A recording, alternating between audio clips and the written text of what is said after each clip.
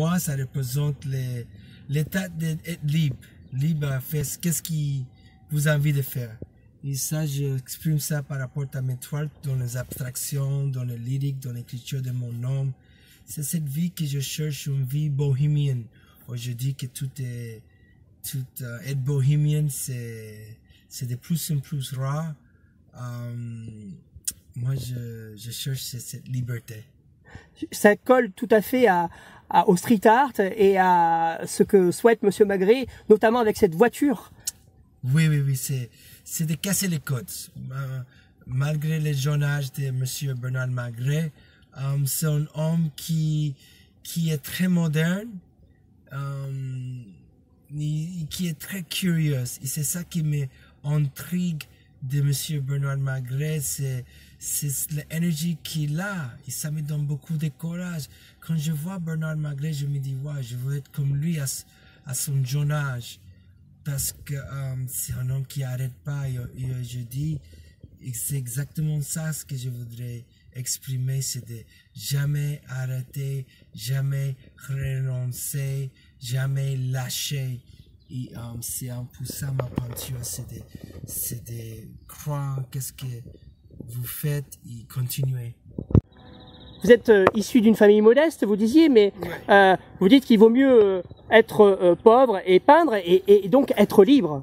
Oui, exactement. Je pense que, I mean, je viens des États-Unis et la classe sociale des pauvres là-bas, des fois, c'est très, très, très, um, comment je peux dire ça, c'est très vide. Quand tu vois l'histoire de, um, dans l'histoire de l'art, des fois dans la pauvreté, tu trouves les les plus riches poètes, les plus riches créateurs, euh, des philosophers dans, dans l'histoire. Aux États-Unis, c'est les pauvres des fois c'est très bas social. Mm -hmm. I don't know how to say. C'est à l'échelle sociale. C'est vide. Bah oui. J'ai lu ça dernièrement. Et um, je peux comprendre pourquoi ils ont raison. Mais dans le street art et street culture, c'était tout le contraire. C'était des gens qui n'avaient pas de moyens, qui ont fait une chose qui a révolutionné dans le monde de l'art. Et le monde de l'art, c'est tellement codé. Pour entrer dedans, c'est même presque impossible. Il faut vraiment casser des barrières pour entrer dans le monde de l'art. Ici, tu vois des gens de, de classes très basses sociales peindre il fait une chose qui aujourd'hui c'est dans le monde entier. Et ça, je trouve ça incroyable. Il y a euh, William Spistra qui a beaucoup compté dans votre vie. C'est votre principal mécène aujourd'hui? Oui, oui. C'est, je ne dis pas que c'est mon principal mécène, mais c'est quelqu'un qui a, euh, dans, dans, mes débuts, était toujours de mon côté. Il, euh, il a collectionné une grande partie des, toiles qui sont exposées ici pour donner une richesse à mon travail et aussi euh, faire revenir des époques de mon ancien travail qui, euh, qui aujourd'hui euh, ça, ça, ça vit toujours, ça doit vivre toujours. Et c'était ça mon but comme artiste. Pourquoi j'ai commencé à faire des toiles? C'était parce que je voudrais avoir comme une espèce de témoin de, euh, physique de, de mon travail pour des autres générations, des autres gens pour voir. So, spiritual pour moi, c'est le gardien de ces témoins. On la, on la croise sur votre chemin, on la transpire grâce à vos peintures, mais elle a évolué au travers de vos peintures. Ici, on est sur des toiles euh, de l'hôpital éphémère. Expliquez-nous. Ah oui, c'était un lieu que je, je faisais des toiles, créative à ce moment-là. Ah, toujours, j'étais toujours créative, mais ici très en particulier parce que j'avais un atelier euh, je n'avais pas besoin de peindre la rue, je pouvais peindre dans un autre type de dimension. Et les dimensions, c'était, je pouvais peindre 24 sur 24 dans le lieu, dans un ancien hôpital et être entré avec des artistes. Et c'était un lieu magique qui, euh, qui, qui j'ai vécu et, um, ça se voit avec les toiles, elles sont très lumineuses, très, très joyeuses et très. Énergie, pleine d'énergie. Très énergique, oui. Parlez-nous d'énergie et d'enfance. Ici, il y a des toiles qui, qui, parlent de votre enfance et qui parlent d'énergie, justement. So ici, um,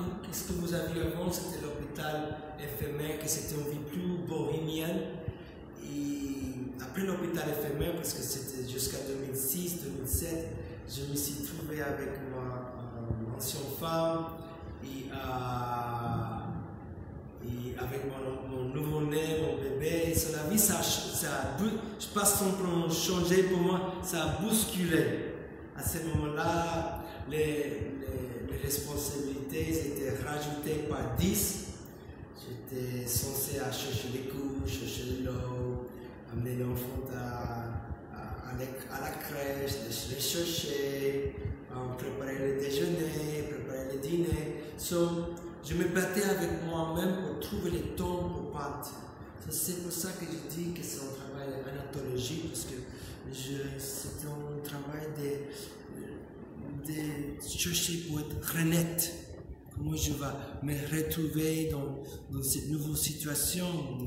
Parce que des fois, prévenus pour, pour affecter ton, ta créativité.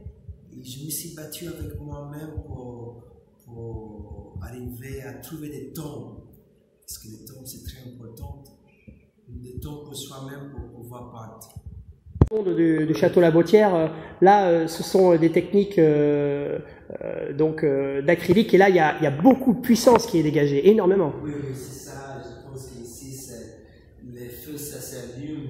Donc, sur moi-même, et euh, la urgence. La urgence, je vois ça comme, plutôt comme une urgence de créativité.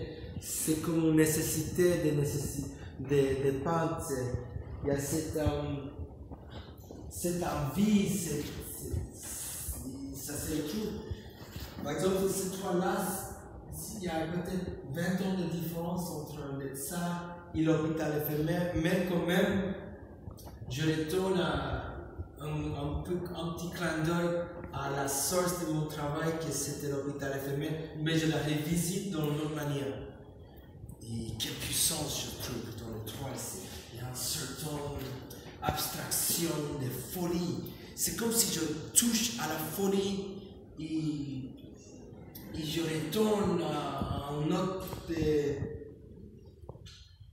Dimension. à la, scène- la, la- la sens. à- à- je touche la folie et je trouve un sens dans cette folie-là. Et là, dans cette salle, euh, vous, on passe à, à d'autres techniques, euh, techniques de peinture à l'huile et, et basées sur votre nom beaucoup. Oui, toujours sur- avec mon travail sur l'abstraction lyrique. Euh, pour l'instant, so, il y a toujours mon nom. Moi, j'aime bien voir mon nom, même en regardant à vous, je regarde mon nom juste derrière vous.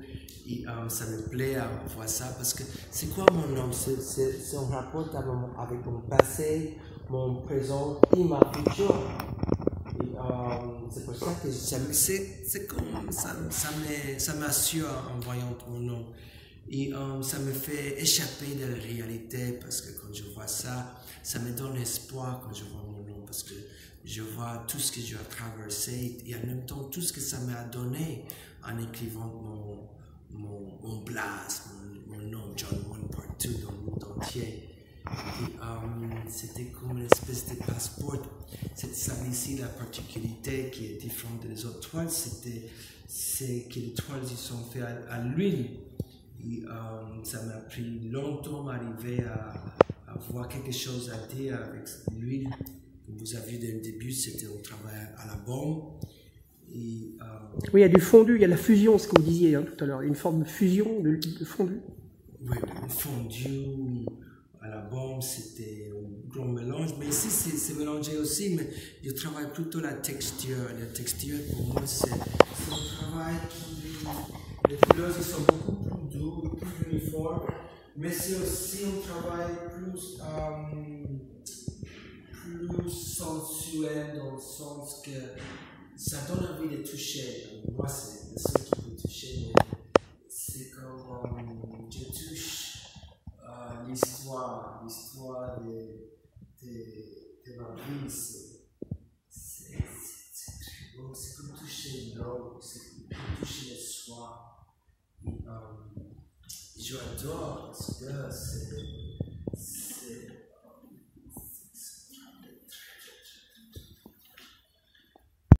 De, de mon interprétation de ce projet avec Monsieur Bernard Magret, c'est de revisiter les châteaux, donner. Mais pour moi, c'était de mélanger la modernité avec les classiques. C'est pour ça que j'ai mis les meubles comme ça, parce que je voudrais euh, donner un clin d'œil à ce que le passé de ces lieux-là, et l'histoire de ces lieux-là, et, et mettre mon nom dessus, ça, laisser ma propre trace dans cette histoire de ça, des euh, châteaux, institutions Bernard Magret. C'est une forme de casser les codes quelque part? Oui, oui, exactement. C'est, casser des codes pour, pour entrer dans, dans les autres dimensions. Des fois, les gens ils sont un peu choqués par ce mot-là, casser les codes, parce que les codes pour certains gens c'est très important. Mais ma peinture, par exemple, euh, ma peinture, par exemple, euh, c'est exactement les codes. Ils sont, je connais les codes, je maîtrise les codes, mais euh, je entre, je crée mon propre code. Et c'est ça qui fait un artiste. Parce que n'importe qui peut aller dans l'école de beaux-arts et apprendre les techniques de peintre et les codes de peintre. Mais qu'est-ce qui devient l'art? C'est quand tu connais les, les- codes et les techniques et tu casses ça pour créer une autre chose. C'est ici, dans cette dimension, que j'espère que ça provoque quand les gens ici des émotions et ça provoque les gens à réfléchir. Là, on est où là en fait, Jonon nous sommes dans, la chambre où je grandis, à New York dans les années 80. Euh, les gens, peut-être, ils sont choqués par, en pensant que j'étais, euh, que je grandis dans une chambre comme ça. Que des fois, les gens ils disent, euh, mais ça va pas, euh, c'est pas possible que tu grandis dans, que tes parents ils ont été permis avoir une chambre comme ça. Mais non, mais c'est vrai. Ma chambre à New York, c'était comme ça. Et c'est pas seulement ça, mais euh, j'étais souvent critiqué, comme les gens qui viennent ici penser, ils disaient, ça sert à rien, c'est pas l'art, ça te va, les gens disaient, ça, ça te va amener nulle part. Pourquoi tu ne changes pas, euh, tu fais une chose sérieuse, Euh, peut-être tu dois aller, à l'église euh, pour trouver les paroles de Dieu. Peut-être tu dois être, euh, retourner à l'école et faire de vraies études. Pourquoi tu ne fais pas comme les autres? J'ai reçu des critiques partout. Et, mais moi, dans ma tête, je ne voudrais pas être comme eux. Je voudrais suivre cette rêve que j'avais, qui n'arrête pas. C'est une explosion libératoire? Comment? C'est une explosion pour la liberté, pour être libre? Oui, c'est- bien dit ça. C'est bien dit ça parce que euh, je pense que les codes des États-Unis, c'est très, très, très dur.